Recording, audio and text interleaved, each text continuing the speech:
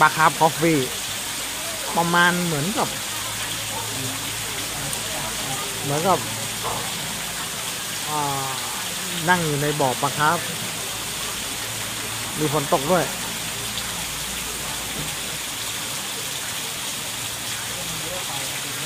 บรรยากาศดีครับ นั่งกินข้าว กินกาแฟดูปลาคาร์ฟอ่า ถ้าเสาร์อาทิตย์นี่ลำบากเลยนะครับ โต๊ะไม่พอนั่ง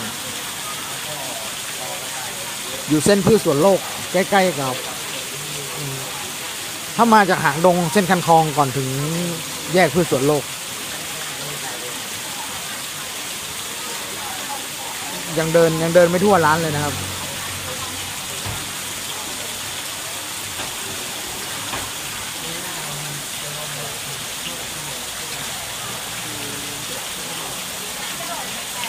ทางนั้นเลย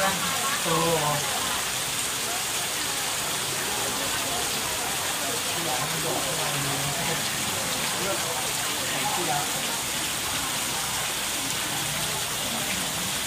อืมถ้าเห็นถ้าเห็นโต๊ะฝั่งนู้น มันจะมีน้ำไหลออกมาจากโต๊ะ ก็คือเป็นระบบกรองของร้าน ระบบกรองของบ่อปลาครับ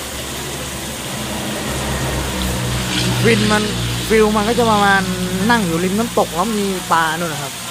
อ๋อให้อาหารปลาให้ให้หรือไม่ให้ไม่รู้มันว่ายไปหมดแล้วดูเต็มเลย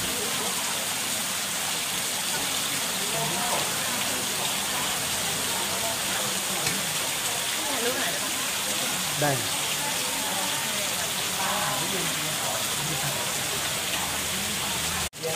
อาหารส่วนใหญ่ที่เห็นในเมนูก็จะเป็นพวกอ่าอาหารญี่ปุ่น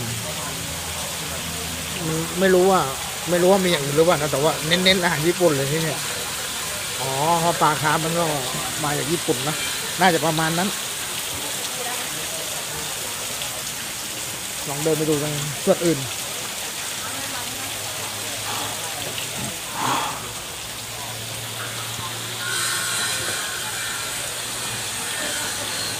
มันก็จะมีจุดให้ยืนถ่ายรูปตรงนี้ แล้วก็บนสะพานเป็นตัวอย่างแบบนี้ครับ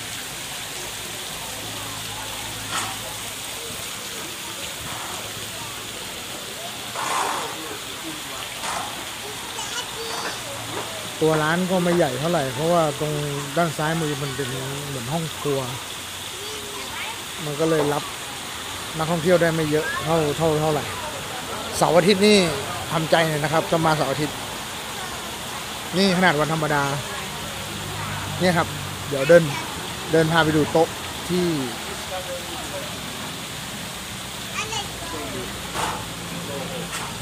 เดินพาไปดูโต๊ะที่เขาทำประมาณ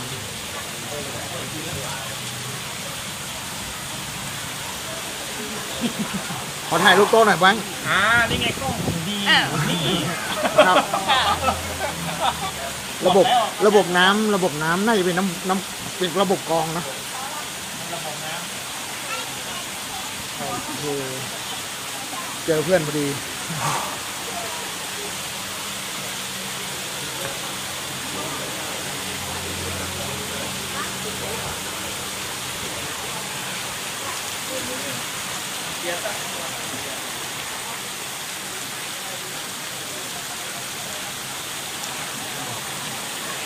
พอเราเดินมาปลามันก็นึกว่าเราจะให้อาหาร เป็นปลาคาร์ฟแบบหลังมีคีบนะครับ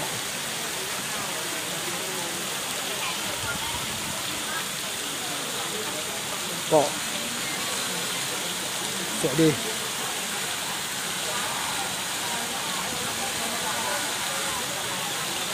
บรรยากาศแบบเย็นๆ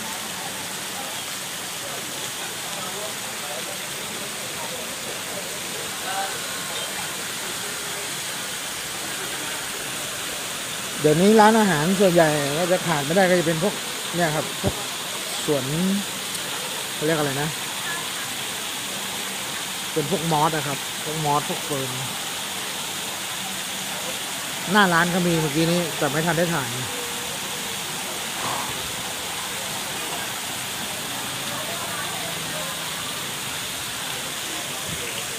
บรรยากาศดีครับ เหมาะกับการมาเซลฟี่ของสาวๆ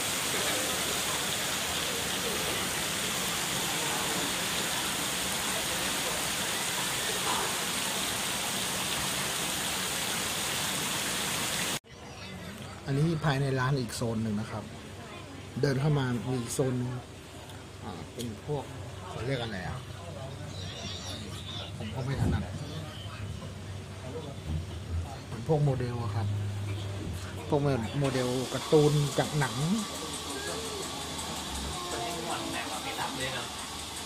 แต่ว่าไปแอร์พอร์ตรับบ้านไปต่อไม่รออันนี้คือโซนด้านในนะครับ เป็นห้องแอร์รับสวยดิ นี้มานี่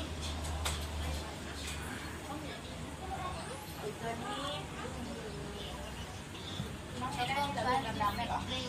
ตัวนี้เหรอ แล้วก็ที่พื้นอ่าโซนนี้ถ้าเกิดเข้ามาขอให้ถอดรองเท้านะครับที่พื้นจะมีกระจก จะมีกระจกแล้วก็จะมีปลา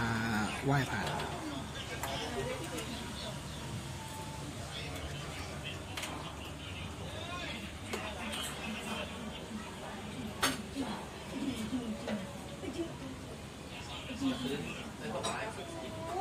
เคฟซี